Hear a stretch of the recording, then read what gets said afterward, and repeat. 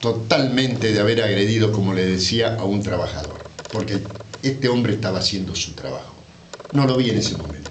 ¿En qué momento tiene pensado usted dirigirse a Gonzalo Rodríguez para hacer efectiva esta, mm, este pedido de disculpas eh, personalmente? En cualquier momento, en cuanto sea la oportunidad, este, eh, se, lo voy a, se lo voy a manifestar, ¿no? Pese a que se dijeron muchísimas cosas en todos los medios nacionales, eh, creo que, quiero creer, porque siempre he dicho y voy a seguir sosteniéndolo, que la misión de ustedes, de los trabajadores de la prensa, es informar y son a su vez generadores de opinión. Eh, y son destapan ollas por ahí y que ni la justicia a veces las destapa. Y, mm, y él estaba haciendo su trabajo. Él estaba haciendo su trabajo. ¿Ustedes realizaron una, una exposición o una denuncia penal luego de los hechos? Sí, yo hice una denuncia penal. ¿Cómo queda ahora? Eh, veremos. Pero la hice por apología del delito e incitación a la violencia. Porque cómo me trataban, y ustedes vieron los videos, este, era eh, algo que muy poco de ustedes soportarían encerrado acá en un recinto con cuatro personas que no sabes ni quiénes son, cuando los atendiste como debía, como he atendido a todos, este, y faltándome el respeto no solo a mí, sino a la investidura que representaba y, a todos los ciudadanos que me pusieron acá. Pero estaba haciendo su trabajo. ¿Con el pedido de disculpas va a retirar la denuncia penal entonces? Probablemente que sí, probablemente que sí. También hay representantes eh, de otras funciones que siguieron su ejemplo afuera de y otras carteras que también representaban al municipio. ¿Habló con el resto de los empleados municipales que participaron de, esto? ¿Coinciden con usted con, la con el pedido de disculpas? No, no, yo no lo hago a pedido de nadie, lo hago porque lo siento, porque debo hacerlo y porque es, eh, Dios quiera que ninguno de ustedes nunca tenga que estar en el cuero que he estado yo estos días. Es un peso, es una, ¿cómo decirles? Es una responsabilidad que, que asumí cuando me presenté para, para ser... Eh,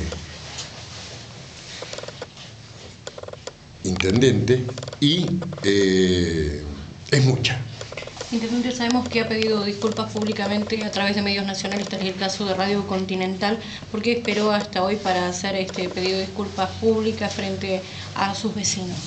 Porque una cosa es hablar sin este por un teléfono sin ver a la con quién estás hablando y otra cosa es estar acá frente a todos los los habitantes de Bolsón, diciéndoselo en la cara, con la responsabilidad que debo tener como intendente y con, eh, la responsabilidad como hombre también. Intendente, luego de esto, ¿usted tiene planeado tomar algunas vacaciones?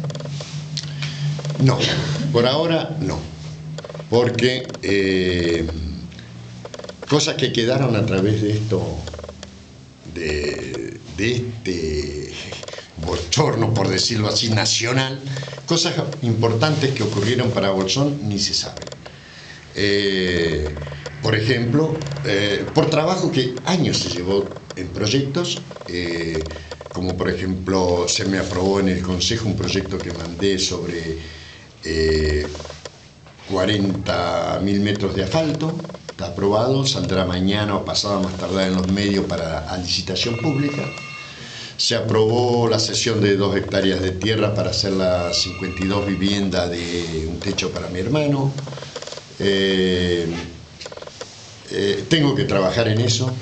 Eh, y verdaderamente tendría, o será que soy muy egocentrista y que creo que las únicas que las cosas las puedo hacer yo solo, pero tengo una responsabilidad con esto con esta gente que necesita su tierra y su vivienda para...